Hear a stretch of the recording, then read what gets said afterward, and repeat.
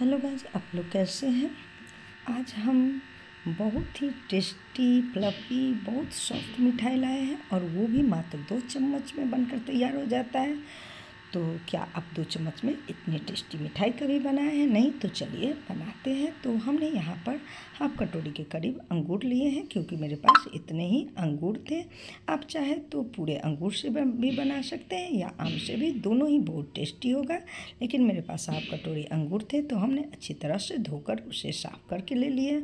और दो कच्चे आम थे तो उन्हें भी धोकर कट करके अब हम ग्राइंडर में इन दोनों को हाफ़ कटोरी पानी डालकर स्मूथ ग्राइंड कर लेंगे।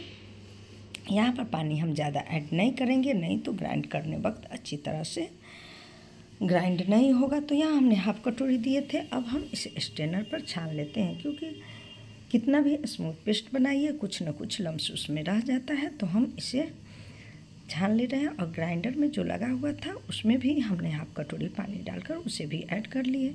तो अब अच्छी तरह से हम इसे छान लिए। अब यहाँ पर देख रहे हैं कि ये जो रस तैयार हुआ है, ये अभी बहुत गाढ़ा है। तो हमें इस, इतने गाढ़े घोल का मिठाई नहीं बनाना है। तो हमने एक छोटी सी कटोरी से, इसमें दो कटोरी, डेढ़ कटोरी के करीब पानी और ऐड कर लिए थे। अब मेज़रमेंट के लिए आप कोई भी बर्तन ले सकते हैं। कुछ, अगर आपके पास मेज़रमेंट वाला हो तो उससे भी कर सकते हैं, नहीं तो घर की कोई भी बर्तन ले सकते हैं हमने।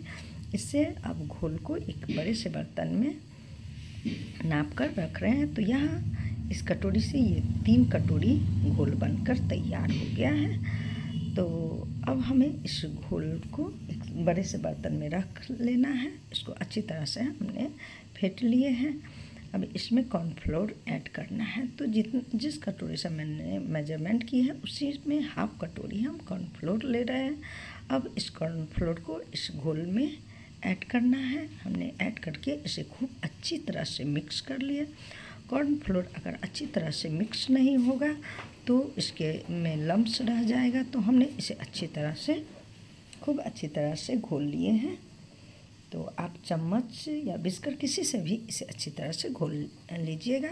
अब एक हम केक टिन लिए हैं। मेरे पास ये केक टिन था तो हमने ये लिया। आपके पास जो भी थोड़ा सा ऊँचे हाइट वाली बर्तन हो, उसे आप ले सकते हैं। तो इसे हमें पहले तेल से ग्रीस करना है। हमने थोड़ी सी तेल डालकर ब्रश से इसे ग्रीस कर लिया। अब इसके नीचे हम थोड़ा सा खरबूज के बीज और ड्राई फ्रूट्स डाल दिए, जिससे मिठाई में अच्छी लगे। और आपके चाहे तो डालिए नहीं तो स्किप भी कर सकते हैं। अब हम एक पैन में उसी मेज़रमेंट वाले बर्तन से कटोरी से दो कटोरी चीनी ऐड कर लिए। उसमें एक कटोरी पानी डालें और थोड़ा सा इलायची और केसर का पाउडर था, वो भी हमने ऐड कर दिए आप चाहे तो सिर्फ़ इलायची डाल सकते हैं और खूब अच्छी तरह से हम इसे मिक्स कर लिए। जब चीनी अच्छी तरह से घुल गया, उसमें झाग आ गया, आप हाथ में उसे टच करके देखिएगा। थोड़ा सा हल्का चटचटापन आ जाए। तो आप वो जो ग्रेप्स और मैंगो वाला घोल है, उसे डालकर अच्छी तरह से इसे दो मिनट के लिए पका लीजिएगा।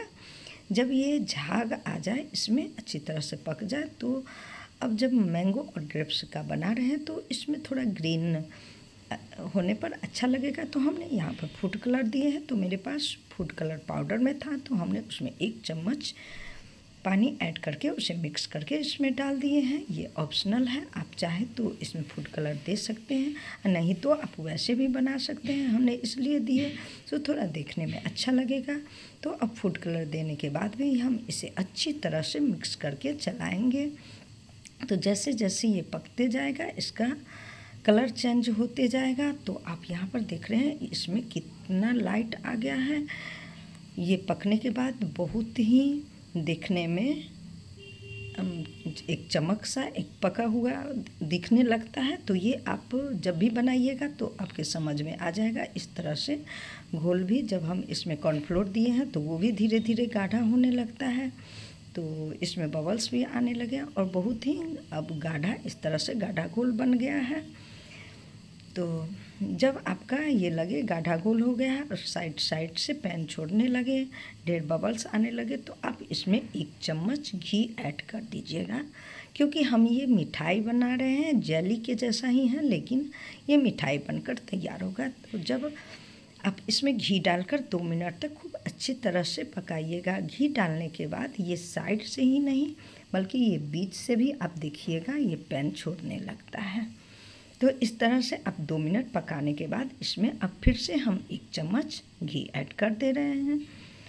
और दूसरी बार घी ऐड करने के बाद ये बहुत जल्दी पैन छोड़ता है और गाढ़ा होता है तो आप इसे एक किसी भी बर्तन में निकाल कर इसे आप चेक कर लीजिएगा।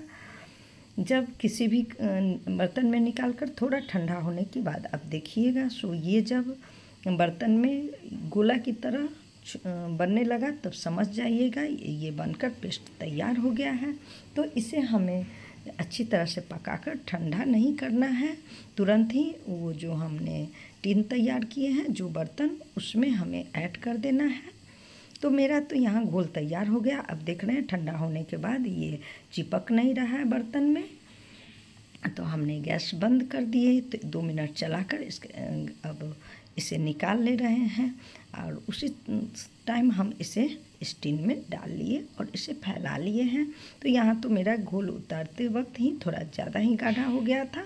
तो आप चेक कर लीजिएगा और उतार कर उसे ठंडा करके फ्रिज में रख दीजिएगा।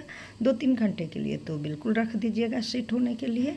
मैंने ओवरनाइट के लिए रखे थे क्योंकि रात के टाइम में ही हम बनाए थे तो इसे रात भर छोड़ दिए तो बहुत अच्छी तरह से सेट हो गया।